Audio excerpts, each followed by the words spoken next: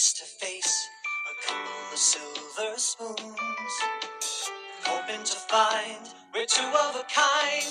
Make it a go, make it grow together. We're gonna find our way. Together, taking the time each day.